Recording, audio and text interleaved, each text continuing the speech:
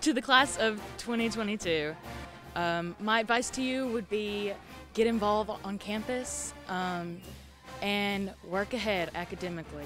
Do not procrastinate or be afraid to make friends. Hang in there because you can do it.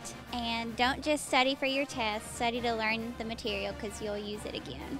Like all mountain climbers, their posture is set upward toward the summit, and I encourage all of you as you're walking up this mountain over the next four years that you keep your head up, and at those times that you feel weak, put your arm in the arm of somebody that's a good friend, a family member, a professor, and one of my best assets was my academic advisor. Get involved on campus and find student worker jobs and just have fun. Stay focused and always be responsible for your classes and your assignments because it's your degree, no one else's. Build relationships and don't be scared to meet new people.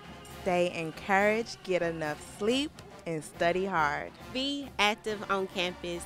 Get in Res Life, TLI, become an RA, join groups, anything you can do to play a part. Study hard and always go for your dreams. Take the opportunity. You've worked hard to get here, so just take the opportunity to do everything you can to finish and to never give up. Just work really hard and remember nothing good happens after midnight.